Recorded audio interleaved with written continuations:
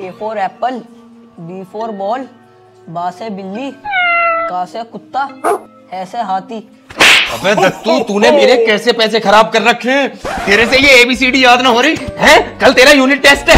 कब करेगा ही ना याद है? कब करेगा? दादा दे क्यों मार रहे हैं? अबे मार कैसे रहा लौंडे को? अबे इसे प्यार से सिखाना। जैसे हमने तुझे सिखा के पाल पोस के बड़ा करा इसे प्यार से समझ।